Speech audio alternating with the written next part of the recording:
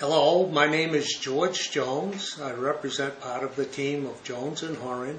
I'm here with David Searles, our expert uh, watch associate, and we hope to go over several of the highlights of the upcoming auction on October 15th and 16th.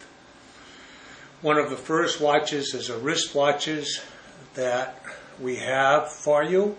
Uh, there are no reserves on any of these pieces, by the way. Uh, this this first watch is a humongous 18 karat Patek Philippe. And David, maybe you could tell us a little something about this wristwatch.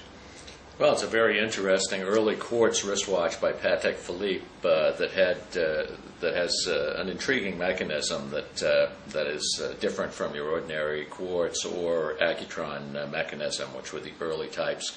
It provides continuous running of the seconds as the Accutron does, but actually has a different way of converting the hertz on which the movement runs to enable that to occur. the case is absolutely massive. Uh, it has its uh, original integral bracelet.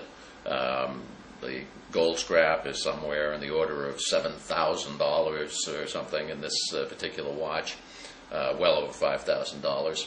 Um, and uh, uh, there have been examples that have shown up in the marketplace, some on eBay with huge prices on them.